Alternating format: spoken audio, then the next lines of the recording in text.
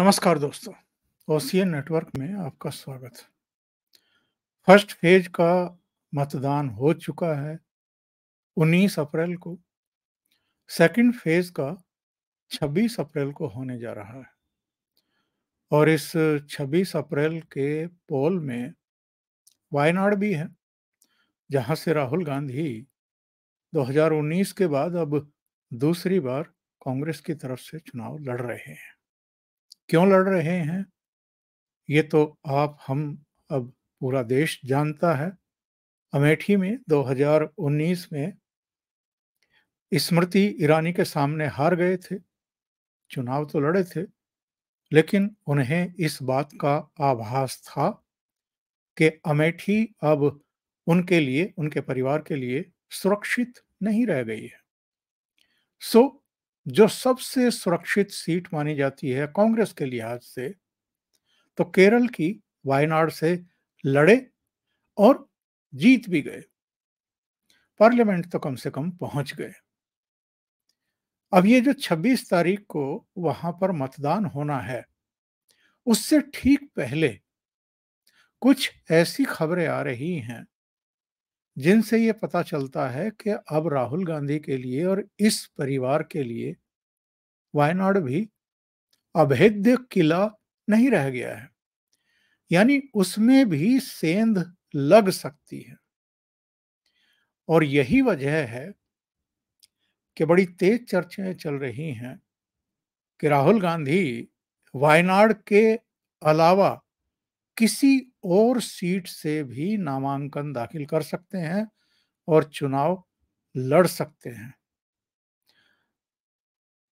वायनाड भी अगर सुरक्षित नहीं रह गई है, जहाँ से वो करीब करीब पाँच लाख के अंतर से जीते थे। राहुल गांधी का आंकड़ा मेरे सामने है 2019 का। पाँच लाख से तो नहीं, पर करीब करीब चार लाख तीस बत्तीस हज़ार से तो वो जीते ही थे। राहुल गांधी को चौसठ दशमलव चौसठ प्रतिशत वोट मिले थे। और सात लाख सात हज़ार वोट मिले थे। जो सीपीआई के खड़े थे सुनीर उनको दो लाख पचहत्तर हज़ार मिले थे। उस वायनाड में भी इतने बड़े अंतर से जीत दर्ज करने के बावजूद अगर ये चर्चाएँ चल निकली हैं, कि साहब वायनाड भी अब उनके लिए सुरक्षित नहीं रह गया है और कोई और सीट तलाश की जा रही है। तब तो सवाल तो खड़े होंगे। और ये चर्चाएँ क्यों शुरू हुई हैं? क्योंकि प्रधानमंत्री नरेंद्र मोदी ने एक तो इंटरव्यू में ये बात कही है और दूसरे उन्होंने एक रैली में ये बात कही है। जरा सुनते हैं कि प्रधानमंत्री ने कहा क्या है। बीस को वायनाड में वोटिंग पूरा हो जाएगा, ये शाहजादे के लिए एक और सुरक्षित सीट घोषित कर देंगे और कहीं और से फिर से लड़ाना पड़ेगा उनको। क्योंकि उनके अलायंस के साथी भी एक दूसरे को गालियाँ दे रहे हैं। कल आपने उनके एक साथी, केरल के मुख्यमंत्री ने जो शाहजादे को सुनाई है मैं भी कभी ऐसी भाषा नहीं बोलता हूँ ऐसी भाषा बोली है उन्होंने। साथी को, ये हाल है उनका। अब जैसे इन्होंने अमेठी से भागना पड़ा, अमेठी छोड़ा, अब मान के चलिए, वो वायनाड भी छोड़ेंगे। प्रधानमंत्री के इस बयान पर एक इंटरव्यू में उनसे सवाल पूछा गया। कि ये तो आप बहुत बड़ी बात कह रहे हैं कि राहुल गांधी अब वायनाड में भी, केरल में भी सुरक्षित नहीं है। और वायनाड में ये सुरक्षित क्यों है? और कांग्रेस को इतनी वोट क्यों मिलती है? आज इसका भी खुलासा करेंगे इस प्रोग्राम में। तो प्रधानमंत्री ने उस इंटरव्यू में क्या कहा है? और केवल राहुल गांधी के बारे में नहीं कहा, उनकी मम्मी के बारे में भी कहा है। सुनिए, क्या कहा? उत्तर से भाग करके दक्षिण में आश्रय लिया उन्होंने। वायनाड में निकल गए। इस बार उनकी हालत यह है कि वो इंतज़ार कर रहे हैं कि जैसे ही 26 तारीख को वायनाड का पोलिंग हो जाएगा, वे किसी और सीट की घोषणा उनके लिए होगी। वो दूसरी सीट की तलाश में है। ये पक्का लिख के रखिए मेरे शब्द। और मैंने एक बार घोषणा की थी पार्लियामेंट में कि उनके बड़े बड़े नेता अब लोकसभा लड़ने वाले नहीं है, वो राज्यसभा में जाएँगे। और मेरे कहने के एक महीने के बाद उनके सबसे बड़े नेता को राज्यसभा से आना पड़ा। लोकसभा छोड़ देनी पड़ी। तो ये पराजय पहले से स्वीकार कर लिया है जी। प्रधानमंत्री कह रहे हैं कि इन्होंने तो पराजय पहले से ही स्वीकार कर लिया है। और इसमें कोई मज़ाक की बात नहीं है। प्रधानमंत्री ने यह बात क्यों कही है, जरा समझने की और सोचने की ज़रूरत। जिस दिन सोनिया गांधी ने रायबरेली से लोकसभा का चुनाव ना लड़ने का फैसला लिया और राजस्थान से राज्यसभा के लिए उन्होंने नॉमिनेशन दाखिल कर दिया और राज्यसभा के लिए वो चुनी भी गई। अब वो लोकसभा की सदस्य नहीं रही, राज्यसभा की सदस्य हो गई हैं और आगे से राज्यसभा में ही दिखाई देंगी, लोकसभा में नहीं। ऐसी सीट लोकसभा की, जहाँ से कौन कौन नहीं चुने गए। इंदिरा गांधी भी, उनके पति फिरोज गांधी भी, अरुण नेहरू भी फिर सोनिया गांधी चुनी जाती रही। वो सीट भी अब उनके लिए सुरक्षित नहीं बची है। रायबरेली भी सुरक्षित नहीं है। अमेठी से राहुल गांधी हार जाते हैं। पचपन साठ हज़ार वोटों के अंतर से हार जाते हैं। और दक्षिण में उनको शरण लेनी पड़ती है जाकर के वायनाड में। तो ऐसे में एक रॉन्ग मैसेज तो चला ही गया है। और बल्कि मैं इसको रॉन्ग मैसेज भी नहीं कहूँगा, मैं तो सही मैसेज कहूँगा। कि चूँकि अमेठी से 2019 में राहुल गांधी हार गए और 2024 सोनिया गांधी को लगा कि अब मेरे लिए रायबरेली भी ऐसी सीट नहीं है जहाँ से मैं जीत सकती हूँ, इसलिए उन्होंने राज्यसभा का यानी बैकडोर एंट्री पार्लियामेंट की, उन्होंने पकड़ने के बारे में सोच लिया, फैसला ले लिया। तो ऐसे में जो लोग ये कह रहे हैं, और पिछले दिनों गाजियाबाद में जब इनकी प्रेस कॉन्फ्रेंस थी राहुल गांधी और अखिलेश यादव की तो एक पत्रकार ने बड़ा चुभता हुआ सवाल राहुल गांधी से पूछ लिया।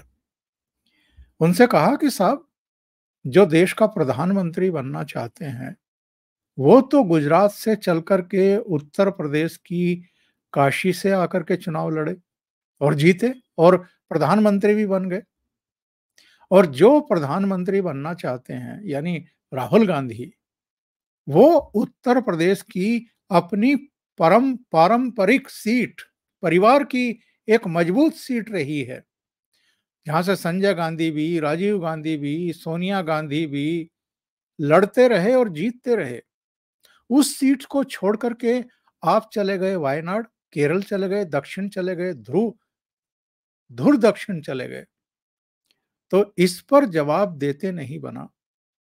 और ये कहकर के पतली गली से निकलने की कोशिश की कि देखिए, ये भारतीय जनता पार्टी का क्वेश्चन है। भाई, सवाल तो पूछेंगे आप, अमेठी छोड़ करके वायनाड क्यों चले गए? रहते यहीं।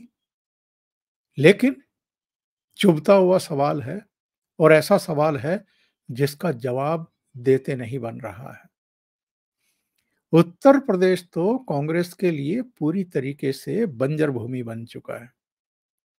विधानसभा चुनाव के आंकड़े देख लीजिए, कितना वोट शेयर मिल रहा है, सीट कितनी मिल रही है। लोकसभा चुनाव का देख लीजिए, क्या हालत हो रखी है, जितनी सीटों पर लड़ते हैं, अधिकांश पर जमानतें जब्त हो जाती हैं। पिछली बार तो रायबरेली जीत गई थी सोनिया गांधी, इस बार तो अदिति सिंह हो, राकेश प्रताप हो या पांडे हो, सब अब जा चुके हैं, दूसरे दलों में जा चुके हैं। तो इनके लिए उत्तर प्रदेश सुरक्षित नहीं है। बहुत सारे लोग कह रहे हैं कि 26 को वायनाड में मतदान होने के बाद राहुल गांधी अमेठी से चुनाव लड़ सकते हैं, नॉमिनेशन दाखिल कर सकते हैं।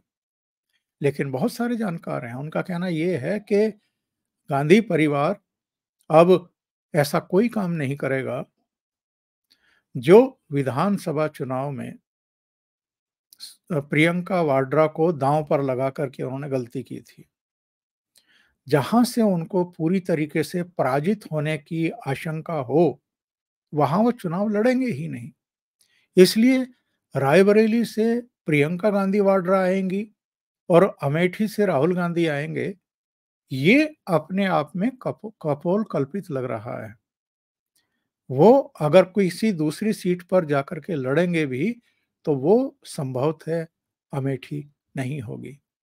और प्रियंका गांधी वाड्रा भी चुनावी राजनीति में तभी कदम रखेंगी जब उनको लगेगा कि इस सीट से अगर मैं नामांकन भरूँगी और चुनाव लड़ूँगी तो यहाँ से जीत भी जाऊँगी।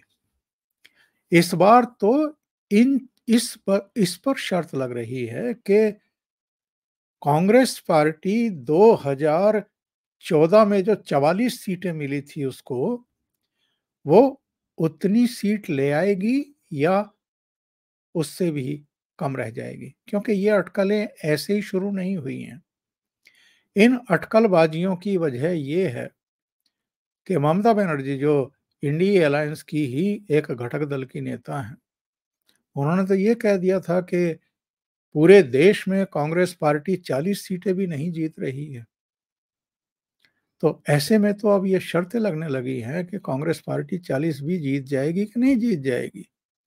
और इसके लिए कोई और जिम्मेदार नहीं है। खुद राहुल गांधी जिम्मेदार हैं और उनके जो तौर तरीके हैं, क्योंकि वो अतीत की पटकियों से, हार से, करारी शिकस्त से कोई सबक लेने को तैयार नहीं है। वही वही बातें दोहराते रहते हैं। इसके अलावा जैसे उनकी सोच आगे बढ़ ही नहीं रही है और वो मतलब तिरपन साल की उम्र में भी जैसे बाल्यकाल को ही प्राप्त हैं, बचकानी बातें करते हैं। वही बाल सुलभ जो है, हरकतें हैं उनकी, वैसी ही टिप्पणियाँ हैं। तो ना मीडिया सीरियसली ले रहा है उनको, ना देश के मतदाता उनको सीरियसली ले रहे, ना उनके जो घटक दल के नेता हैं इंडी अलायंस के, वो उनको अपना नेता मानने को तैयार हैं और कांग्रेस से तो लगातार बाहर जाने वालों की एक जैसे लाइन लगी हुई है। आज भी मैं देख रहा था इन्हीं के संसदीय क्षेत्र, वायनाड के जो ज़िले के महासचिव हैं वो पार्टी छोड़ करके और भारतीय जनता पार्टी में शामिल हो गए। और रीजन उन्होंने क्या बताया? कि मेरा एक्सेस ही नहीं है, मैं राहुल गांधी से मिल ही नहीं पाता हूँ। और मैं उनसे अपने मन की बात अगर कहना चाहूँ, उनको कोई सलाह देना चाहूँ तो मैं दे ही नहीं सकता हूँ। मैं वायनाड के बारे में रिसर्च कर रहा था, देख रहा था कि वहाँ चुनाव तो होने जा रहा है। और राहुल गांधी दूसरी बार वहाँ से चुनाव लड़ भी रहे हैं तो पिछले पाँच साल में इनकी वहाँ उपस्थिति कैसी रही है? इनका कामकाज कैसा रहा है? कहीं वही हाल तो नहीं है जो अमेठी में करके छोड़ रखा था गांधी नेहरू परिवार ने। क्योंकि अमेठी वालों का भी तो यही दुखड़ा है, इसीलिए तो उनका मोहभंग हुआ है कि इनके परिवार की कई पीढ़ियों को उन्होंने जिता करके पार्लियामेंट में भेजा और उनमें से राजीव गांधी तो बाकायदा प्रधानमंत्री भी बने हैं। और लेकिन अमेठी के लिए इन्होंने कुछ नहीं किया। इसी तरीके से वायनाड के लोगों का ये कहना है कि साहब, यहाँ अभी भी हेल्थ की जो सुविधाएँ हैं वो ना के बराबर हैं। कनेक्टिविटी यहाँ की अभी भी बाबा आदम के जमाने की है क्योंकि ये वन क्षेत्र है। और यहाँ जंगली जानवर जो हैं, वो भी एक बड़ी समस्या बने हुए हैं और पर्यटन स्थल भी है। लाखों पर्यटक जो है, वो वायनाड आते हैं देश भर से आते हैं। और तो और वायनाड में आज तक मेडिकल कॉलेज भी नहीं है। अगर कोई गंभीर बीमार पड़ जाता है तो या तो मैसूर जाता है या फिर बेंगलुरु जाता है। तो सवाल ये है कि राहुल गांधी ने पिछले पाँच साल में किया क्या है? और रात को नौ बजे से लेकर के सुबह छह बजे तक जो वहाँ का हाईवे है, वहाँ पर आवागमन बंद कर दिया जाता है क्योंकि जो जंगली पशु हैं, जानवर हैं, वो वहाँ पर कई ऐसी वारदातें अतीत में कर चुके हैं जिनकी वजह से अच्छा वहाँ का जो मिजाज है, समीकरण है वो एक्चुअल में कांग्रेस के पक्ष में जाते हैं। वहाँ के जो मुस्लिम हैं, जिनकी तादाद बताई जा रही है कि एक समय 30 प्रतिशत के आसपास थी, जो अब धर्मांतरण की वजह से और कुछ और कारणों से 40 प्रतिशत से भी ऊपर चली गई है 45 प्रतिशत के आसपास हो गई है।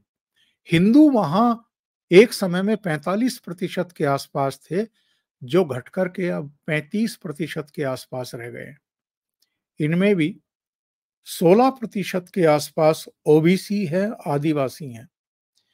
और ओबीसी और आदिवासियों का एक बड़ा चंक जो है वो लेफ़्ट की तरफ़ रहता है। पर चूँकि आरएसएस बहुत लंबे समय से वहाँ काम कर रहा है और हज़ारों की संख्या में उसकी जो संस्थाएँ हैं और शाखाएँ हैं, वो वहाँ पर काम कर रही हैं। तो ये जो आदिवासी हैं, ये बटे हैं, ओबीसी भी बटे हैं। जो ईसाई है, उनकी तादाद भी एक समय वायनाड की बात मैं कर रहा हूँ, पूरे केरल की बात नहीं कर रहा हूँ, इकतीस प्रतिशत के आसपास थी, जो अब घट करके बीस प्रतिशत रह गया है। तो ये जो राहुल गांधी बीच में ओबीसी की बात करते रहे, आदिवासियों की बात करते रहे मणिपुर की बात करते रहे, इसके पीछे की उनकी मेंटेलिटी क्या थी? उनको लगता था कि केरल में और खास तौर से वायनाड में अगर भारतीय जनता पार्टी का कोई प्रत्याशी आकर के उनको चुनौती देता है तो जो ईसाई हैं, जो ओबीसी हैं, आदिवासी हैं, वो उनकी तरफ़ ना जाने पाए। इसलिए मणिपुर मणिपुर ये पार्लियामेंट के भीतर भी और पार्लियामेंट के बाहर भी चिल्लाते रहे। इस बार जो ये कर रहे हैं, पिछली बार भी इन्होंने किया था, इंडियन मुस्लिम लीग तो इनके साथ है ही। लेकिन साथ में इन्होंने जो पीएफआई की पॉलिटिकल विंग है एसडीएफआई उसका भी ये समर्थन ले रहे हैं। और ये बात प्रधानमंत्री नरेंद्र मोदी ने भी और गृह मंत्री अमित शाह ने भी अपने इंटरव्यूज़ में और अपनी जनसभाओं में कही है। अच्छा मुस्लिम जो हैं, वो वहाँ के कारोबार पर पूरी तरीके से छाए हुए हैं और करीब करीब 75 परसेंट के आसपास जो कारोबार है, वो वहाँ मुस्लिम्स के हाथ में ही है। और वहाँ की जो सड़कें हैं, वो राहुल गांधी की जो भारत जोड़ो यात्रा है, उसके पोस्टरों से पटी पड़ी हैं। किसी पोस्टर में इनको बेटा लिखा गया है, किसी में भाई लिखा गया है, किसी में गरीबियों का हितैषी लिखा गया है।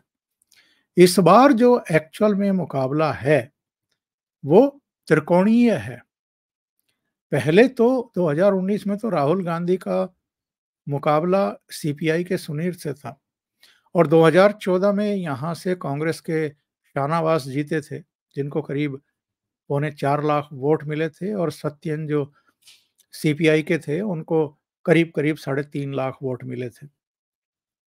इस बार जो है राहुल गांधी के सामने बीजेपी के जो प्रदेश अध्यक्ष हैं, के सुरेंद्रन, जो ज़बरदस्त वक्ता माने जाते हैं, वो खड़े हैं और डी राजा की जो पत्नी है, एनी राजा, वो खड़ी हुई हैं।